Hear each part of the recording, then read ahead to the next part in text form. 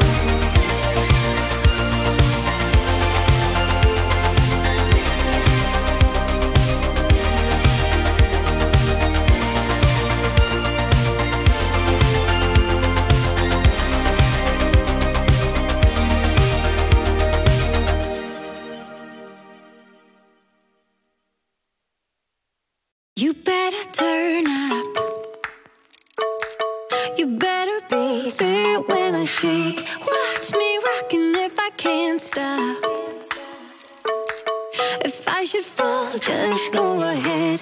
Go and catch me, baby.